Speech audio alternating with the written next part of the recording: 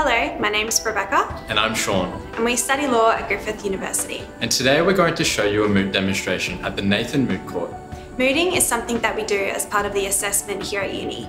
There are also lots of opportunities to do mooting in national and international competitions.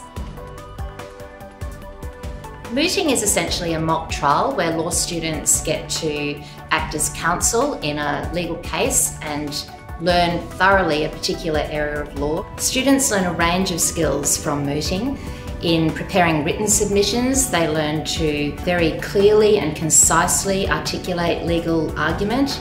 And then in having to present those arguments orally, they learn to think on their feet, they learn to uh, understand the law well enough to answer a range of questions from the judges, uh, and they also develop their confidence in oral communication. It allowed me to perfect my oral advocacy skills and network with students and professionals all across Australia and the world. Law at Griffith offers a range of courses and extracurricular activities which teach you the skills that you will need when you begin to practice law.